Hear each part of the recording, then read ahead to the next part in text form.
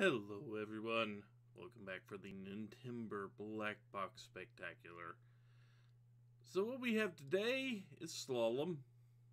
Slalom is not memorable, to at least. It was an arcade game first. And, well, one way it is memorable is this was I believe, the first game Nintendo had that was developed by Rare. And true to Rare formula, this game, if I recall correctly, it's been a very long time, gets very hard very freaking quick. But we probably won't see the hard parts because like many other games on this list, this is not a game I have a lot of experience with. But the goal is simple. You are a skier. You're going down a hill. You have little you have little piles of snow you can jump on, catch some air and do tricks. You can press forward on the pad to lean in and go faster, and you're trying to go between the flags. It may look like the flags just have little plus signs on them, but they have of arrows. It's kind of hard to tell. Just in general, you you want to stay on the correct side of the arrows, or your guy's going to slow down. The game only the game doesn't end if you crash at all, as you can see from the demo. The game only ends when you run out of time, seen in the upper upper right, before you complete a course. That's it. That's the only thing. However, in the arcade, this this uh, arcade game had a rather unique kind of way to control.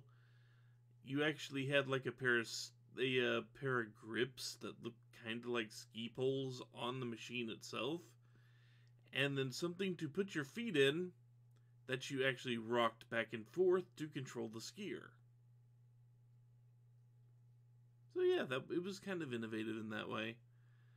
Unfortunately, on the NES, we didn't get anything like that. We just had simple D-pad and uh, buttons. So yeah, don't hit the trees. Hit the moguls if you want to jump, but that will, uh, well, not so much jump, but ramp. But that will that will take away some of your time because it will slow you down. If you noticed, you don't necessarily crash just because you bump into something. You bump into a couple things in a row, and you will. At least some things can, you know, get you. But anyway.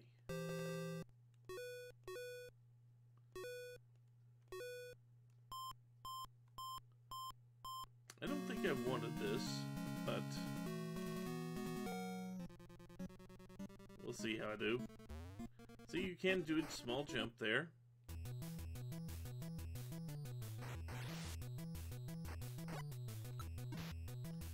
And yes, if if I can hit one of these, you do a little uh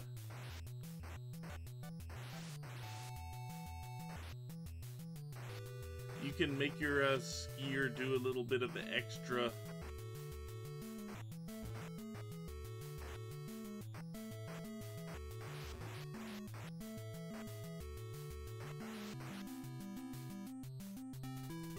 Got the qualifying run with 15 seconds left. That it looks like he's crying, but he's celebrating.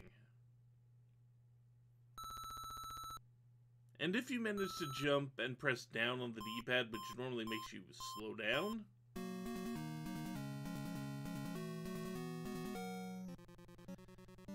if you manage to press down, which is normally your slow down, while you're airborne, you will do the trick like that.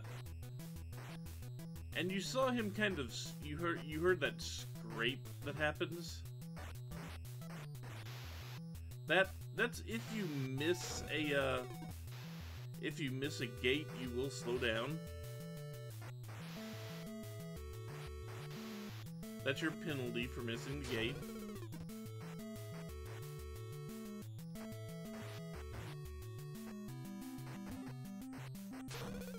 Controls are definitely not the easy part of this game. It's very, very touchy.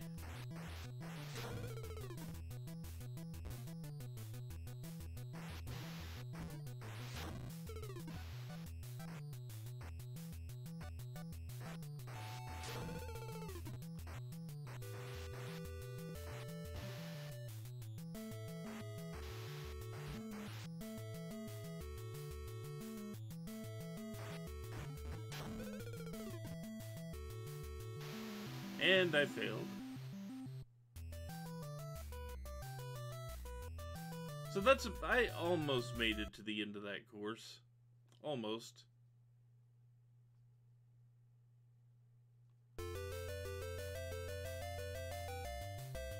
And, eh, eh, eh, there we go. So let's see if I can get, take the easier courses so you can actually see more.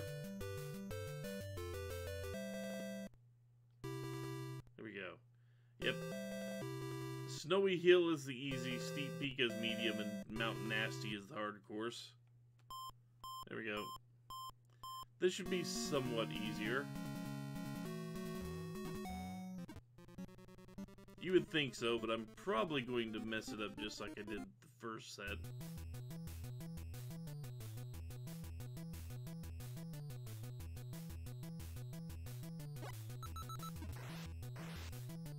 Also, if you do hit one of those hills, let go of the down pad before you, uh...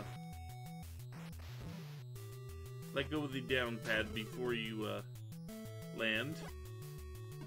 Or else you will crash. Because you notice how he kind of has his skis generally pointing downward when you do that.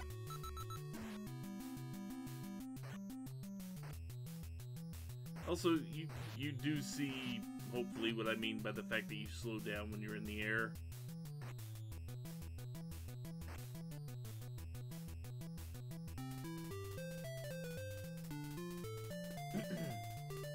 Once again, he cries in celebration that he did not die on the way down the mountain. But I got a lot of freestyle points. Once again, you don't have to do the freestyle stuff.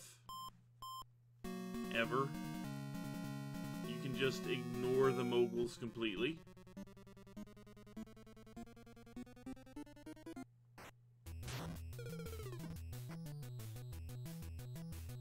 And, well, hopefully you don't do what I'm doing here and hit every goddamn flag on the way.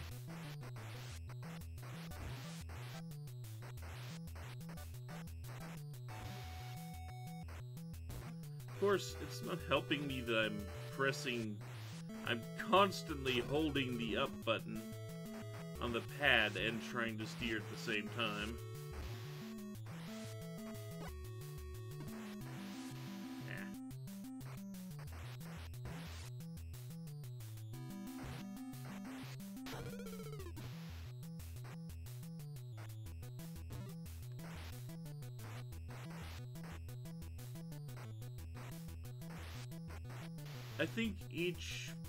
Three mountains each have eight courses in them, I believe.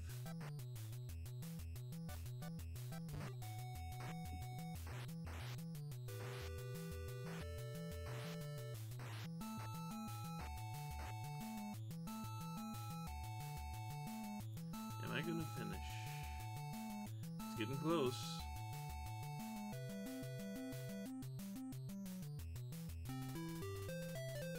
Definitely close.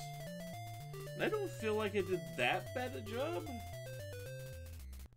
There definitely is not a, uh, not a lot of room for, uh, mistakes. Even on the easy mode.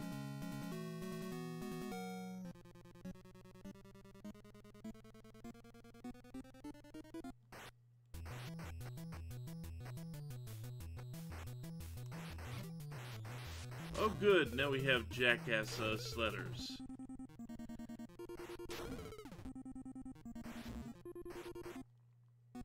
We're like taking right, we're like right in the paths I want to race in.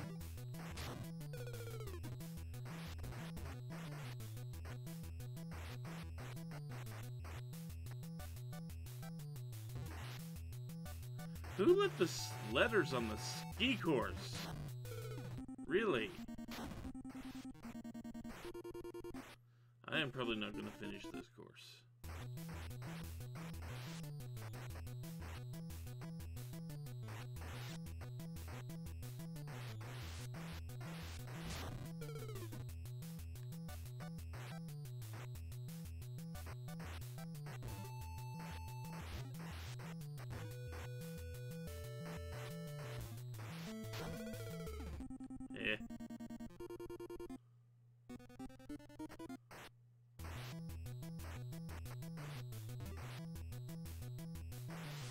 Just barely finished it. Just barely. So yeah, even on easy this game, even on the easy mode, this game is uh challenging me. That was not much bonus score. Please keep the damn sledders off the course.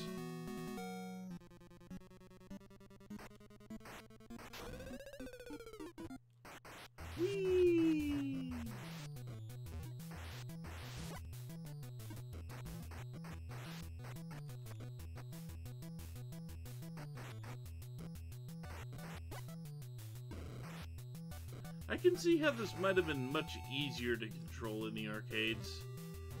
I don't remember playing it. I remember seeing it and being completely turned off by the weird foot control scheme,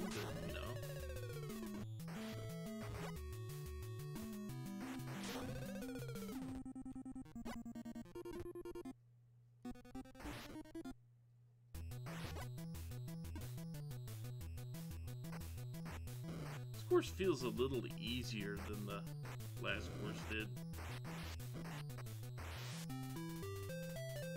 That is evidenced by the fact that I had more time.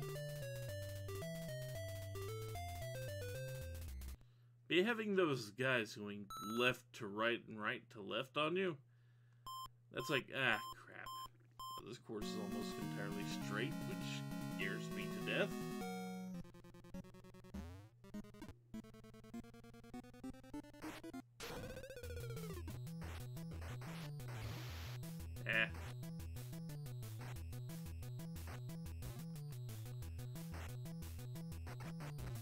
I think... I could be completely wrong about this. But I think... If you actually complete a course fast enough, you will actually get to race by yourself on the next one. I think.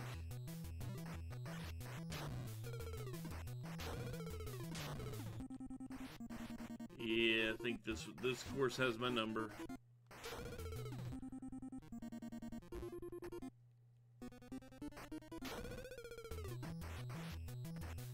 Granted, it's nowhere near the difficulty of freaking Mach Rider.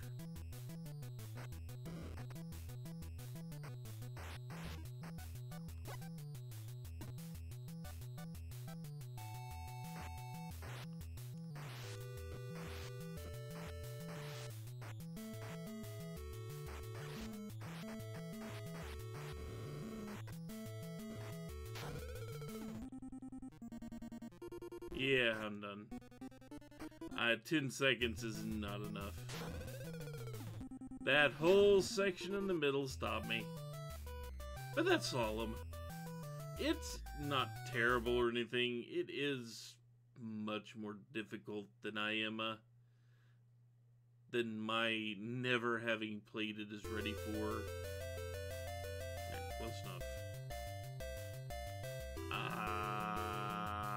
Is about my reaction to playing this. But anyway, yeah, there we go. Tune in tomorrow for something I have to actually figure out how to play because I could not figure out what was going on tomorrow. So until then, take care, everyone. See you later.